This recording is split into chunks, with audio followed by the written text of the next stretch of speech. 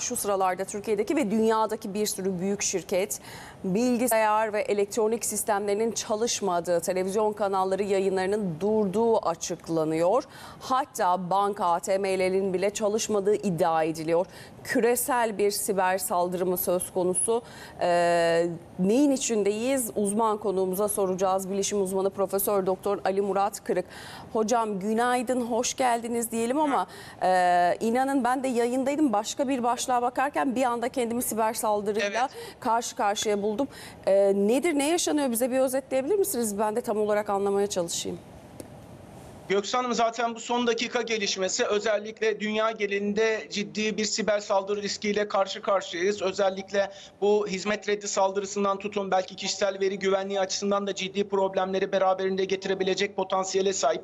Belki de şu ana kadar dünyanın görmüş olduğu en büyük siber saldırıdan bahsediyoruz. Çünkü şu an sadece Türkiye değil ki Türkiye Türk Hava Yolları'ndan da bir açıklama yapıldı az önce. Ee, bu noktada Yahya Üstün basın müşaviri şöyle bir açıklama yaptı. Geçici süreçte dediğim gibi e, e, bilgi servislerinde yaşanan problemler, bilgi sistemlerinde yaşanan sorunlar nedeniyle biletleme ve rezervasyon işlemlerinde problemler, sorunlar yaşandığını açıkladı. Bununla birlikte yine e, bugün ilk açıklama belki de bu siber saldırıyla ilgili ilk açıklama Avustralya'dan geldi. Avustralya'da da çok ciddi manada bankacılık işlemlerinin yapılamadığı, özellikle hava yolu işletim, işletmelerinin çalışamadığı, biletleme işlemlerinin gerçekleştirilemediği e, noktasında ciddi açıklamalar gerçekleştirildi. Aynı zamanda dünyanın en büyük belki de teknoloji şirketinde de yaşanan bir hizmet kesintisi saldırısı söz konusu. Bunun da özellikle altını çizmemiz gerekir. Avustralya Ulusal Siber Güvenlik Koordinatörlüğü'nden bir açıklama yapıldı. İşte e, bu noktada Avustralya genelindeki birçok şirketin ve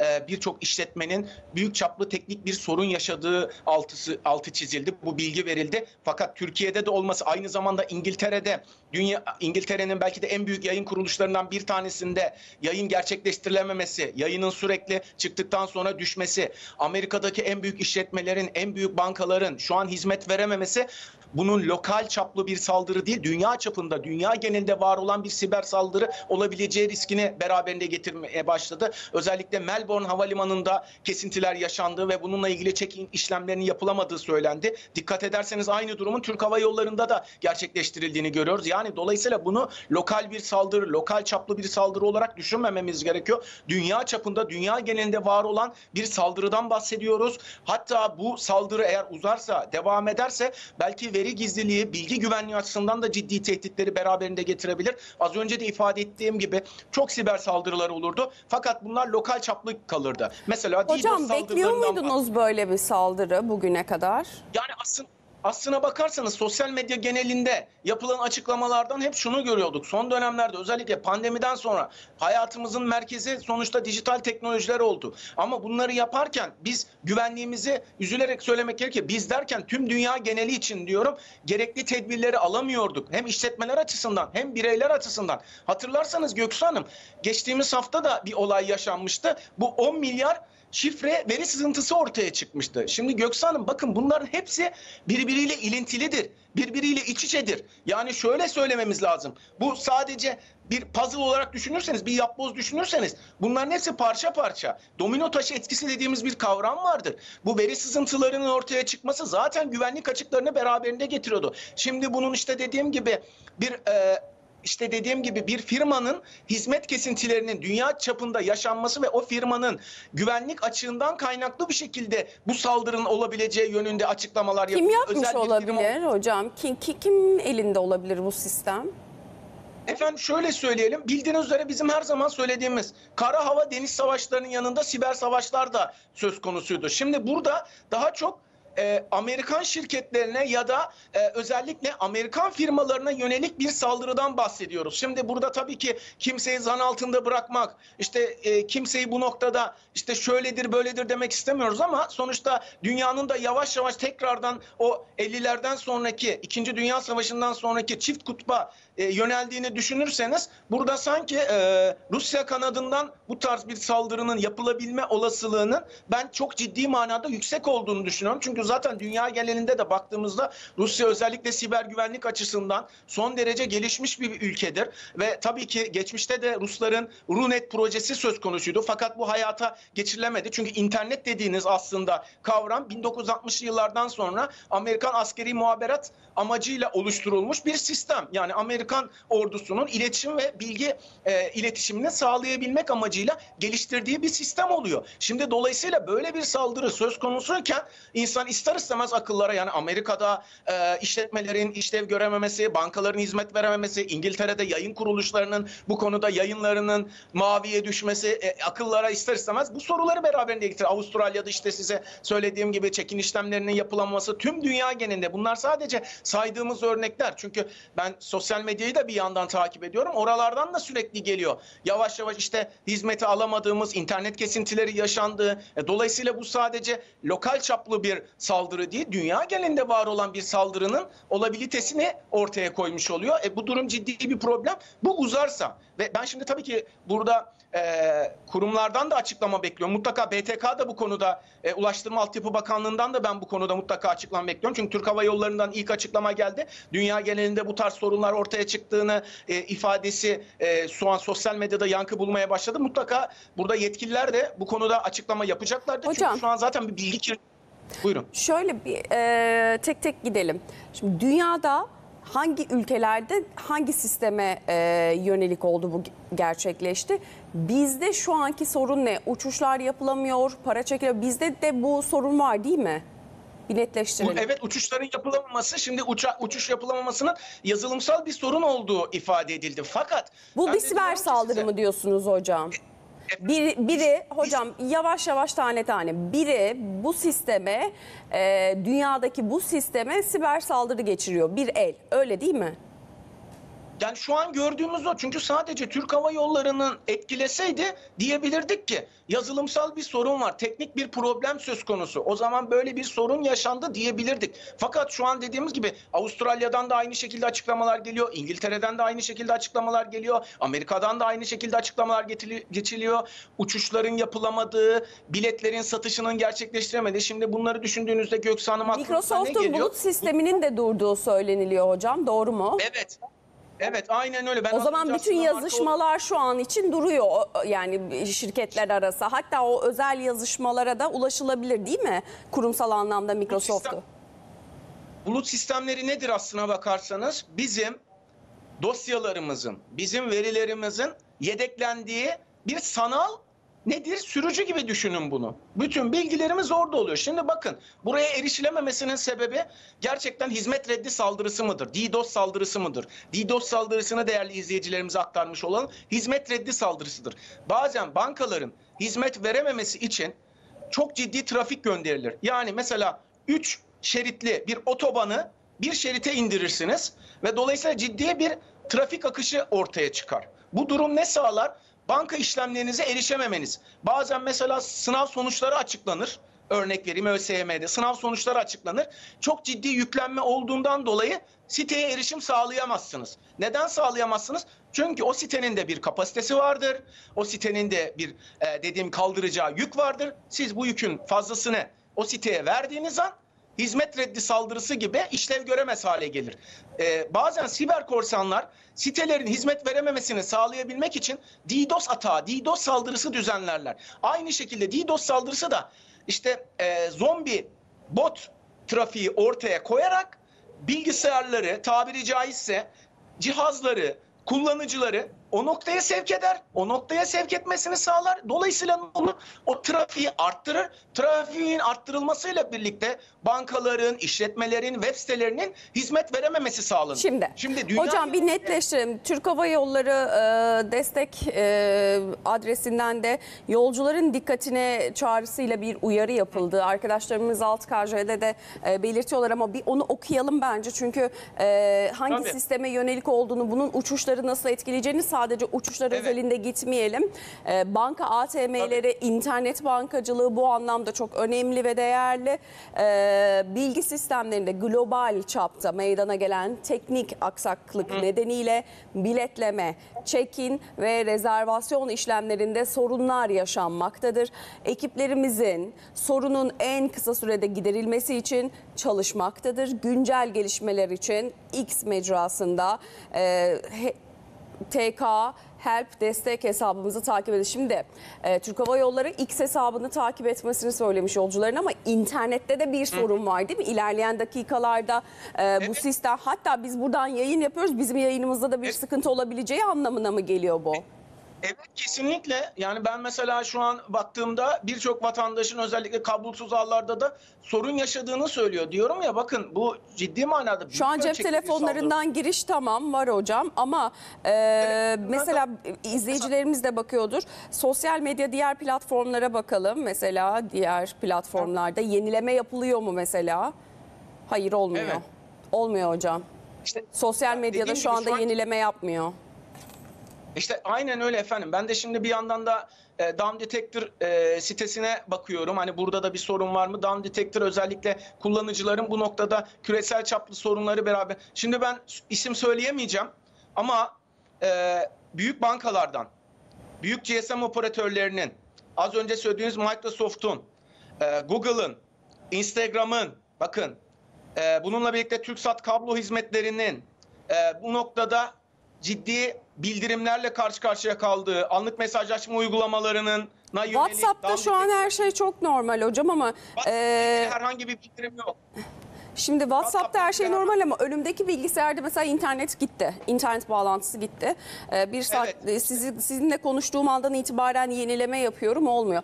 Ee, internet bankacılığı, bankacılık sistemini de çökertiyor değil mi hocam bu sistem? Şu an tabii efendim zaten hepsi birbirine bağlı zincirleme bir şekilde bildiğiniz üzere yaşanıyor bu tarz sorunlar. Şu an ben mesela kendi e, hücresel verim üzerinden bağlanıyorum. Yani kendi te, e, wi, e, Wi-Fi ağlarımdan değil yani kablosuz ağlardan değil ve birçok bankaya dair şu an e, Down Detector ki Down Detector bir daha değerli CNN Türk izleyicilerine aktarmak istiyorum. Bu şu an Down Detector isimli site aslında tüm dünya genelinde var olan kesintileri vatandaşların, kullanıcıların bildirdiği bir sitedir. Şu an hatta baktığımızda birçok sosyal medya mecrasına yönelik, birçok bankaya yönelik, özel ve devlet bankalarına yönelik ciddi sorunların yaşandığı, yine omurga sağlayıcı dediğimiz, Türkiye'nin omurga sağlayıcısı dediğimiz Türk Telekom'a yönelik de aynı şekilde bildirimler e, geldiğini görüyoruz efendim. Hocam, şimdi bir dakika. Bu hocam ekranda izleyicilerimiz görüyor.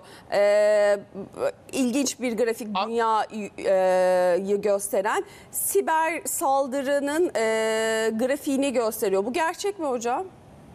Bu dünyada dünya genelinde gördüğünüz siber saldırı haritası şu an sizin ekranınızda var olan e, yine ünlü Rus şirketinin siber saldırı haritasını görüyorsunuz siz şu an burada ve dünya genelinde var olan saldırıları da buradan de- detaylı bir şekilde görebilirsiniz. Çünkü şu an Şu an bu saldırıyı gösteri, gösteriyor mu hocam?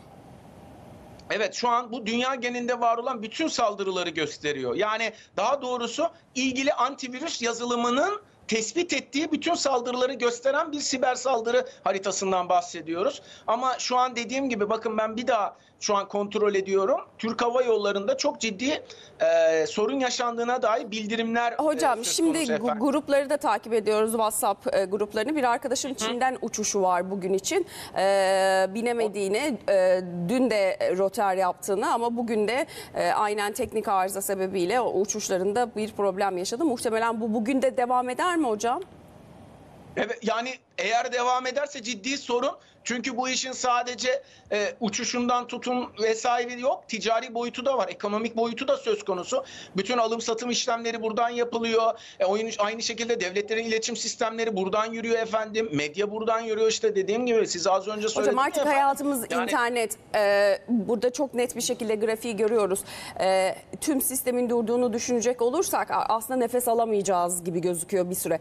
Ama şunu şu merak an- ediyorum. Çok da korkuya e, sebebiyet vermeden şimdi internet bankacılığı kullanılamayacak dedik, uçuşlar iptal olabilir dedik, oluyor. Ee, şunu bir konuşalım ve netleştirelim. Ee, siber saldırıya karşı şirketler kendilerini nasıl koruyorlar? Nasıl bir sistemin içinde? Şimdi büyük bankalardan söz edecek olursak insanların e, orada e, kendilerini nasıl güvence altında hissetmelerini sağlar? Şimdi efendim şöyle söyleyelim. Burada e, aslına bak, bakarsanız çok ciddi bir noktaya değindiniz. Çünkü burada her bankanın biz her zaman söylediğimiz gibi mutlaka teknik müdahale ekibinin olması gerekir. Özellikle bankalar hayati öneme sahiptir. Bütün vatandaşlar için, bütün kullanıcılar için hayati öneme sahiptir. Çünkü bu noktada siber saldırıların kaynağının tespit edilmesini sağlamak, hızlı çözüm önerisi bulmak ve kriz yönetimini doğru şekilde çözmek için bu noktada siber güvenlik ekibinin olması gerekir. Ve bu noktada yine ağ sistemlerinin iyileştirilmeleri de son derece önemlidir. Çünkü burada ağ sistemleri özellikle bu etkilenen ağların ya da etkilenen sistemlerin tekrardan işler hale getirilmesi için teknik ekibinde bu noktada ciddi manada çalışması gerekir. Bizim için önemli olan şu an şu.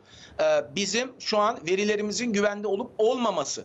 Çünkü bu saldırının şu an vahameti belli olmadığı için yani hizmet reddi saldırısı gibi geçici süre işte belli bir işletim sistemine ya da belli bir siteye yönelik trafiğin aktarılmamasına yönelik bir siber saldırıyla mı karşı karşıyayız? Yoksa gerçekten bu işin yedekleme sistemlerinin işte de zarar gördüğü bulut bilişim sistemleri. Siz az önce söylediğiniz bulut bilişim sistemleri. Biz şimdi ne yapıyoruz? Verilerimizi yedekliyoruz. Verilerimizi yedeklememizin sebebi nedir?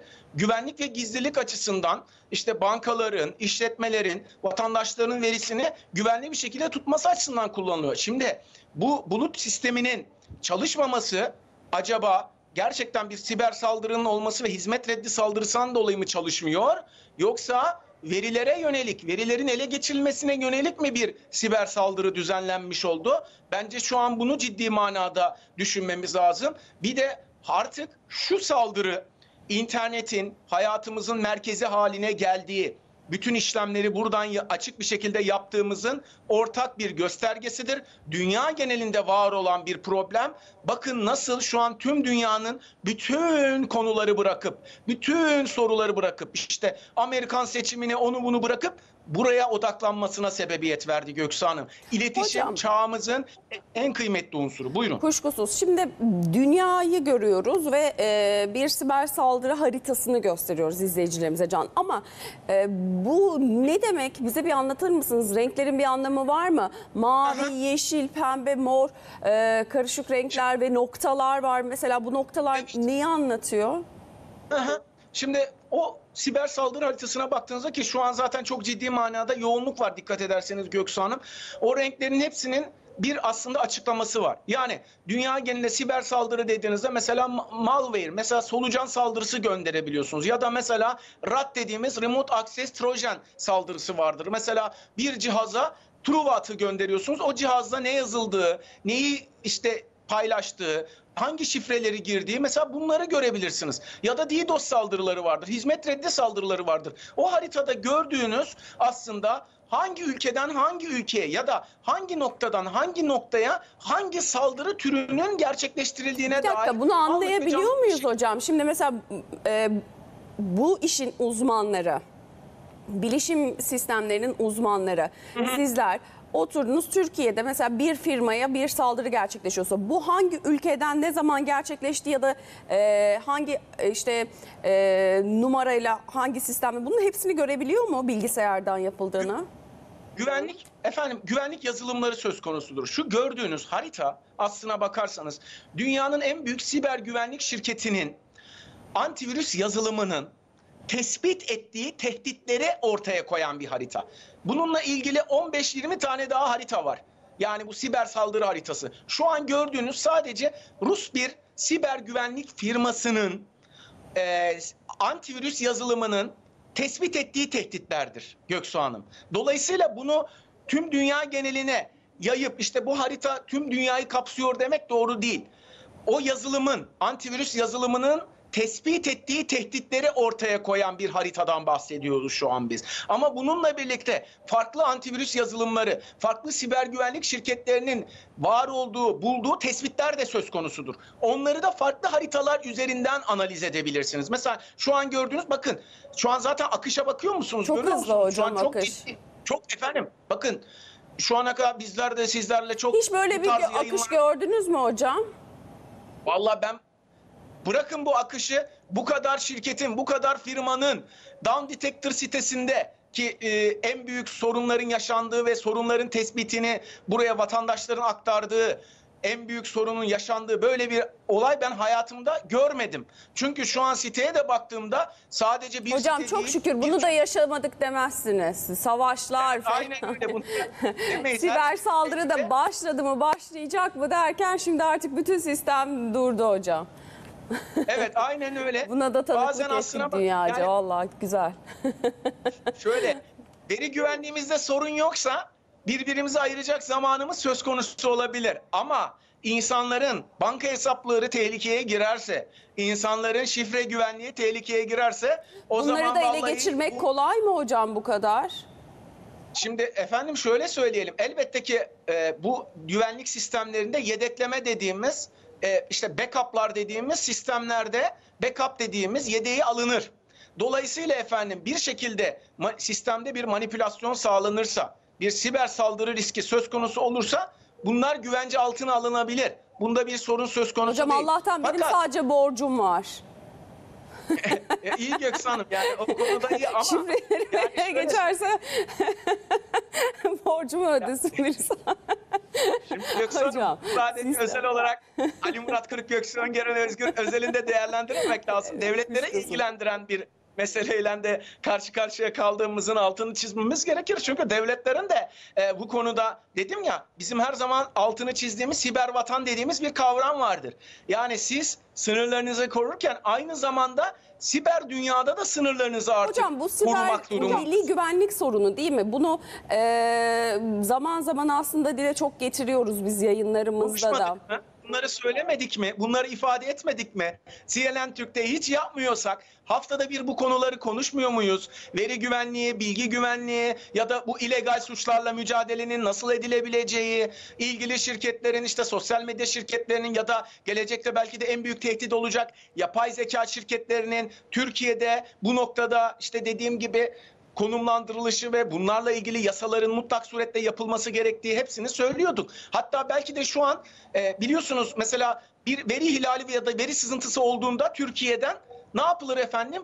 KVKK'ya, Kişisel Verileri Koruma Kurumu'na bilgilendirme yapılır. Muhtemelen ben şu an Kişisel Verileri Koruma Kurumu'na da bazı havalimanı şirketlerinin de şu an son dakika gelişmelerine bakıyorum. Onların da bilgi geçtiği yönünde. Yani e, bir bu siber saldırının aynı zamanda bir veri sızıntısı ya da veri hilali yapabilmesi kuvvetle muhtemel ki ilgili şirketler bunlarla ilgili e, KVKK'ya bilgi veriyorlar efendim. Bildirim sağlıyorlar. E, bu da ciddi bir tehlike olarak karşımıza çıkıyor. Tekrardan ben çünkü bakıyorum e, Down Detector sitesine. Şu an evet gerçekten bir daha söylüyorum. Down Detector sitesi dünya genelinde var olan kesintileri vatandaşların, kullanıcıların bildirdiği bir sitedir.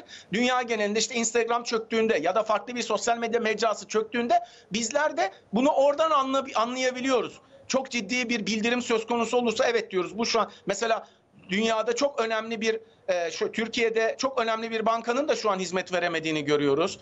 E, en büyük alışveriş platformu diye ifade ettiğimiz sitede şu an sorun yaşandığı gözüküyor mesela. Yavaş yavaş X'te de yani eski ismiyle Twitter'da da şu an sorun yaşandı. Yine Türkiye'nin önemli bankalarının bir tanesinden bildirim yapıldı ve işlem yapamadı. Yani dolayısıyla Göksu Hanım bu umarım 2-3 saat içerisinde çözülebilecek bir sorundur. Aksi takdirde bunun uzaması demek hem ekonomik olarak ciddi sorunu beraberinde getirecektir hem de güvenlik açısından ciddi tehditleri beraberinde getirecektir. O yüzden bunun da hani altını çizmemiz lazım. Anlık mesajlaşma uygulamalarında da siz az önce söylediniz ki e, onlarda pek sorun yaşanmıyor ama şu an özellikle WhatsApp içinde şu an bildirimlerin e, arttığına dair ciddi sorunlar var. Dünya genelinde Nasıl Kargo bilgilerin işlemleri arttığına gerçek- dair. Bilişim uzmanı Emre Özcan da konuğumuz. Hoş geldiniz. Hocam Ali hocam bir ne demek e, bir arttığına ne demek istediniz tam anlayamadım. şöyle bildirim geliyor. Yani Şu an ben bu hizmeti alamıyorum. Anlık He. mesajlaşma uygulamalarından WhatsApp, Telegram gibi anlık mesajlaşma uygulamalarında da şu an down detector dediğimiz siteye bildirimler söz konusu. Yani kullanıcıların dünyanın farklı noktalarındaki kullanıcıların bu mecralara erişemediği, erişimde sorun yaşandığına dair siteye bildirim sağlıyorlar. Ve bu sayede biz de dünya genelinde hangi sitelerde sorun var, hangi sosyal ağlarda sorun var bunları açık bir şekilde görebiliyoruz. Ee, devlet bankalarında birkaç tane yine sorun yaşandı. Hocam sizin kafanızdan neden ışık çıkıyor? Böyle arkanızda böyle bir ışık süzmesi var. Bende mi efendim? Evet hocam. Allah Allah. Bilmiyorum. Sinirden, stresten olabilir belki. yanıyorum Yani alev alev. Evet, Peki aynen. Emre hocama gidelim. Ee, size döneceğiz. Ee, hoş geldiniz. Günaydın. Ne oluyor dünyada? Hoş bulduk, günaydın. Teşekkür ederiz. İyi yayınlar diliyorum Göksu Hanım.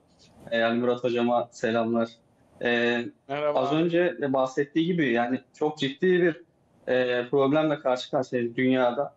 Ee, küresel bir e, aslında kriz olma yolunda ilerliyor ve bütün sektörleri etkileyebilecek konumda şu an. İşte medya, bu bankalar, e, hava yolları, e, açıklamalar bir bir geliyor. Şu an aslında etkilenen e, markaları ya da etkilenen e, şirketleri, kuruluşları Ali Murat Hocam'ın da ifade ettiği gibi açıklamalardan ve e, takip edilen sitelerden e, görüyoruz. Ve çok ciddi bir kriz haline gelmiş durumda. Ve bu Evet. aslında e, özellikle Microsoft sistemlerine yönelik bir saldırıyla başlayan bir süreç. E, ve Microsoft altyapısını kullanan e, birçok firma var dünyada ve ülkemizde. E, bunların hepsinin etkilendiği bir süreci yaşıyoruz. Ancak hepsinin ne oranda etkilendiği ve hangi sistemlerin etkilendiğine dair e, şu an sınırlı bir bilgi mevcut. E, bunu da e, aslında biz süreç içinde belli platformlar aracılığıyla öğrenebiliyoruz. E, işte uçuş tarafında özellikle check-inlerin, online check-inlerin etkilendiğine dair, bankacılık tarafında işlemlerin kesintiye uğradığına dair, e, mesajlaşma uygulamalarında yine aynı şekilde e, sınırlı ve kesintili ve yavaş olarak ilerlediğine dair bilgiler e, mevcut. Ve sürekli olarak da bununla alakalı e, yeni bilgilendirmeler geliyor.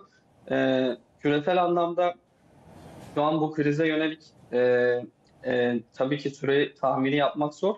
Ancak etkilediği e, anlam bakımında yani aslında bizim e, etkilendiğimiz günlük yaşamımızda kullandığımız uygulamaların işte mobil bankacılığın ve e, bizim taraftaki etkisini düşünecek olursak e, insanlar açısından çok büyük bir e, kriz haline gelme potansiyeli yüksek ve e, benim şahsi öngörüm de uzun süreceği yönünde.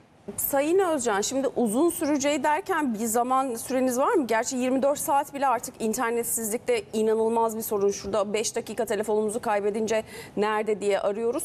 Ee, 24 saat eğer ve bunun devamında bir süre uzaması gerçekleşirse bütün dünyada sistem durur. Bir öngörünüz var mı? Bununla alakalı e, daha önce hatırlarsanız belki e, yine bir havayolu şirketinin e, başına bu tarz bir e, siber saldırı meydana geldiğinde yaklaşık 24 saati bulan bir süre söz konusuydu ve uçuşların birçoğu yapılamadı. Çünkü bu uçuşlar sadece donanımsal değil aynı zamanda yazılımsal ve e, bir yazılım aracılığıyla bu uçuşlar e, aslında gerçekleşiyor. O yüzden bu sistemlere yapılan saldırılar uçuşların fiziki olarak kalkışını da etkiliyor. E, dediğiniz gibi burada e, sadece 1 saat 2 saat değil belki 5 dakika 10 dakikanın bile çok büyük önemi var. Çünkü dijital bir çağda yaşıyoruz. E, tüm işlerimizi e, dijital üzerinden yürütüyoruz. Mobil bankacılıktan tutun da uçuşlarımızın, e, seyahatlerimizin e, ve yaptığımız alışverişlerin belki de hepsini artık dijital yoluyla yapıyoruz. O yüzden buradaki kesintinin e, uzun süreden kastım e, bunun e, gün boyu sürebileceği e, yönünde e, etkilerinin yani tamamen normale dönmesinin tabii belki 24 saati de bulabilir bu süre. Ama e, bu etkinin e, hızlı bir sürede e, ve bütün e, etkileyen kurumlarda aynı oranda düzelmeyeceği yönünde bir bilgi mevcut. Çünkü şu an kurumlarda hangi işlemlerin etkilendiğini tespit etme e, çalışması yapıyor. Bu nedenle e, vatandaşların da burada kendi kullandığı uygulamaları takip etmesi adına e, düzenli olarak bu e, işte Ali Murat Hocam bahsettiği platformlar üzerinden de bilgi alabilmesi ve buradan da işlemlerini buna göre yapması aynı zamanda kurumsal açıklamaların burada takip ediliyor olması lazım. Çünkü bir dezenformasyon sürecine de giriyoruz haliyle. Evet, o yüzden sosyal dikkatli. medyada biliyorsunuz Şimdi e, Sayın Özcan tam da burada devam edelim. E, açıklamalar çok önemli e, Ali Murat Hocam. Buradan devam edelim. E, şimdi bu sistemlerin az önce sordum ama bir kez daha soralım. E, Sayın Özcan'a da aynı soruyu yöneltelim. E, insanları da korku ve paniğe endişeye sevk etmeden bu sistemlerin korunurluğu yok mu? E, biz tamamen e, işte bir siber saldırıya mı bakıyor bütün e, elimizdeki ya da işte hayatımızdaki internetle ilgili her şey?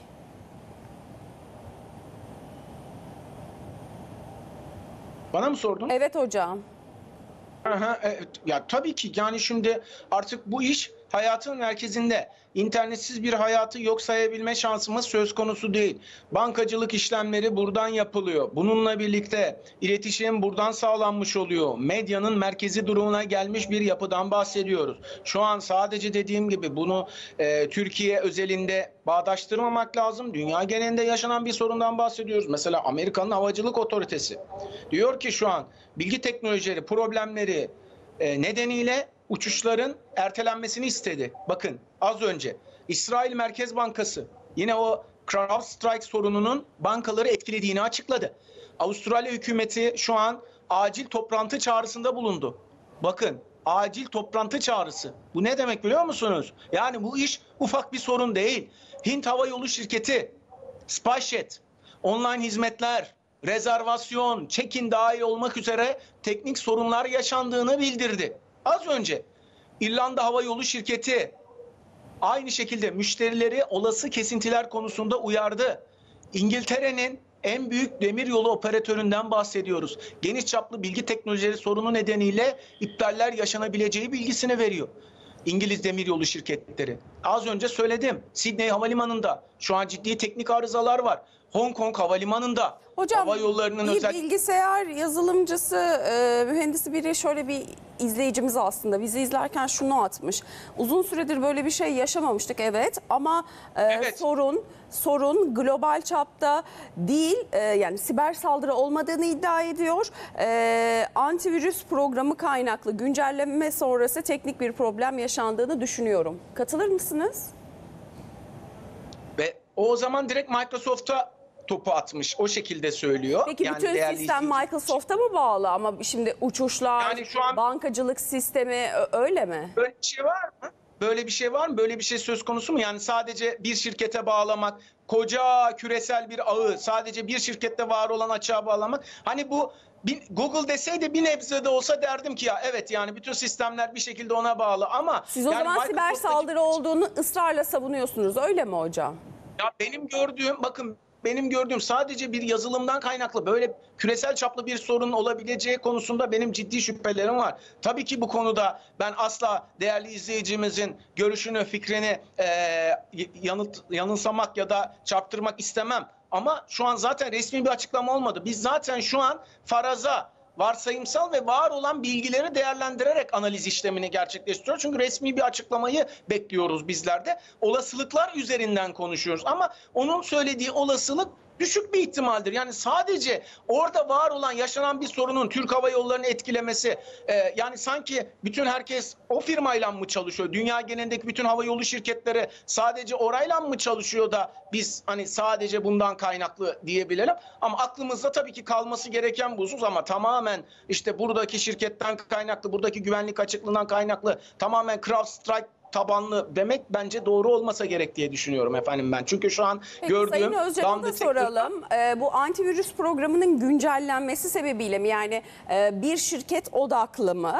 E, fakat Ali Murat Hocam böyle bir şey olamaz. Bütün sistem dünyada e, bu, buraya mı bağlı? Hayır canım bence bir siber saldırı noktasında biraz daha yakın gibi gözüküyor. Siz hangi taraftasınız? Ee, şirketler bu tarz kriz senaryolarına çalışırken e, aslında kurum içinde e, birden fazla yazılım altyapısını e, devreye alıyorlar ve bu tarz krizlerde de e, eğer bir e, yazılımda sorun olmuşsa ve bahsettiğimiz gibi bir antivirüs güncellemesinden kaynaklı sorun olduğu durumda diğer bir yazılımı devreye alıyor e, ben de burada e, Ali Murat paralel düşünüyorum. E, sadece bir e, sadece tek bir platforma meydana gelen antivirüs e, güncellemesinden kaynaklı bütün küresel çapta etki yaratabilecek bir krizin olması e, çok da e, akla e, yaraşır bir e, durum değil. Çünkü e, bir, bu şirketlerin hepsinin zaten çok farklı yazılım alternatifleri var ve bu yazılım alternatiflerini e, kolaylıkla devreye alabiliyorlar. Sadece e, bahsettiğimiz bir yazılım üzerinden e, konuşabileceğimiz bir süreç değil. Aslında bununla birlikte e, küresel çapta e, bütün e, firmaların kullandığı platformlara yönelik bir e, saldırıdan bahsetmek gerekir burada. E, burada da aslında süreç e, aslında e, açıklamalar geldikçe daha da e, netleşiyor. Bu açıklamalar e, geldikçe biz bunun aslında işte sadece bir antivirüs güncellemesinden kaynaklı olmadığını da e, görüyoruz. Çünkü açıklama yapan şirketlerin e, elinde farklı e, yazılımlar, farklı kullandıkları platformlar da mevcut. E, bu yüzden sadece bir e, antivirüs güncellemesiyle ifade etmek e, süreci doğru olmaz diye düşünüyorum şu an gelen bilgiler doğrultusunda. Ben burada e, vatandaşlara özellikle sosyal medya kullanıcılarına e, ciddi bir çağrıda bulunmak istiyorum. Burada e, özellikle dezenformasyon sürecinde birçok kurumdan açıklamalar yapılıyor şu an. E, kurumlardan açıklama yapılırken e, vatandaşlardan da belli e, taleplerde bulunabiliyor. E, bunlara yönelik dikkatli olunması gerekiyor. Belli linkler paylaşılıyor. Bu linklere e, tıklamadan önce vatandaşların dikkatli olması gerekiyor ve sadece resmi açıklamaların dikkate alınması gerekiyor. Sosyal medyada kurumların e, resmi kurum hesaplarından yapılan açıklamaların olup olmadığının kontrol edilmesi gerekiyor diye bir dipnotla düşmüş olayım buraya.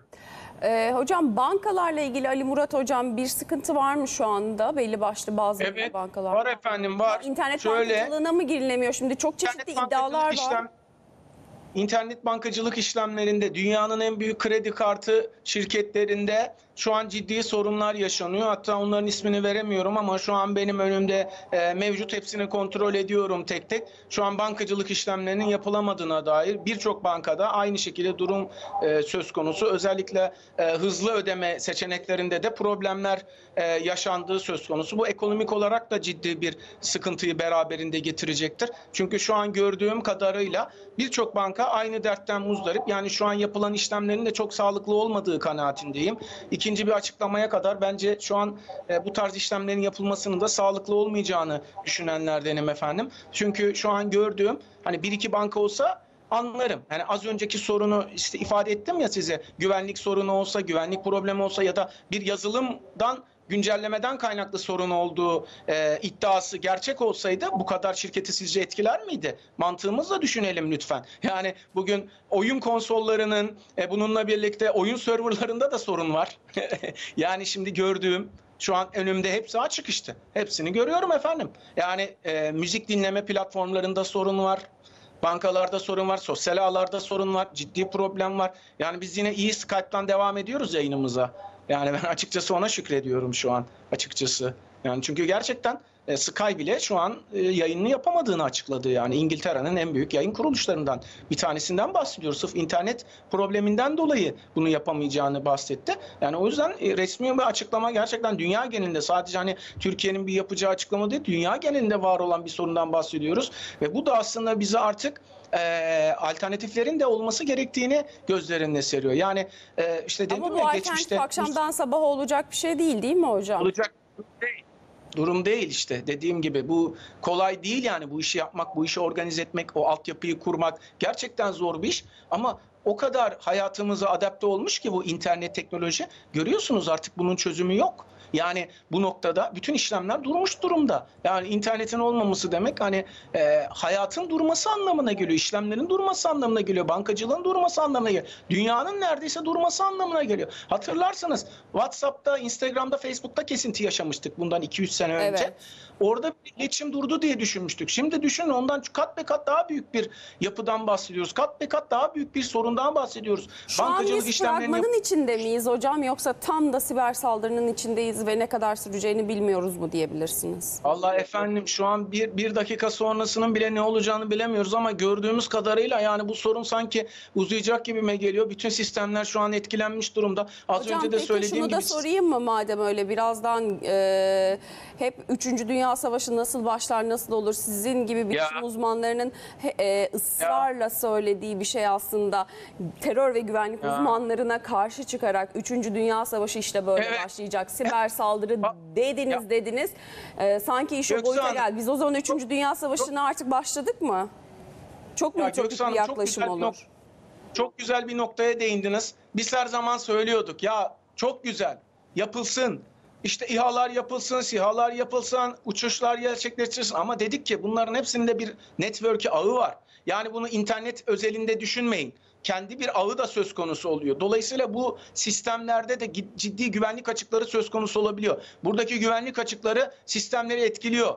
Dolayısıyla vuracağınız yere tam tersi hareket ettirebiliyor.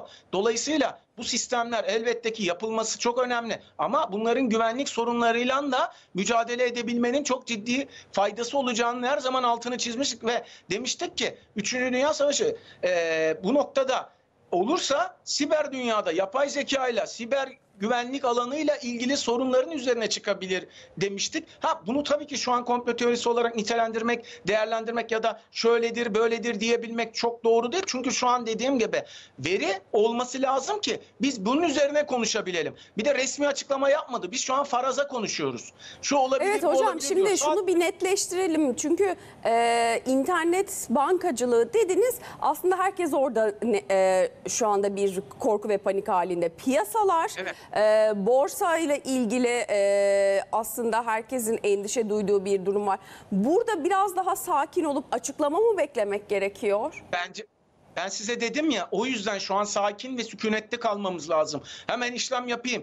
Aa işte bir sorun mu var? Paramı çekeyim, şuraya yatırayım, buraya edeyim dersek bence sık- sıkıntı yaşarız. Hani sadece kendi bankamda olsa ya da sadece kendi kullandığım kredi kartında bu sorunu yaşasam anladım. Hani derim ki bu özel bir durum. Yani bankanın güvenlik açığından kaynaklı, yazılımından kaynaklı ya da sadece yazılım değil donanımından kaynaklı diyebilirim ama şu an gördüğüm önümde var olan işte dediğim gibi sorun bildirimi unsurlarına baktığımda birçok bankanın işte ismini veremeyeceğim. Daha doğrusu e, reklama girmesi amacı gireceğinden dolayı bunları söyleyemiyorum. Ama size söylediğim yani hemen hemen bütün bankalarda aynı sorun var. Zaten onlar da bizi seyrediyorlardır. Vatandaşlarımızla yayını izlerken denemişlerdir. Ya gerçekten böyle Evet, bir evet. sorun var mı, böyle bir sıkıntı var mı diye denemişlerdir.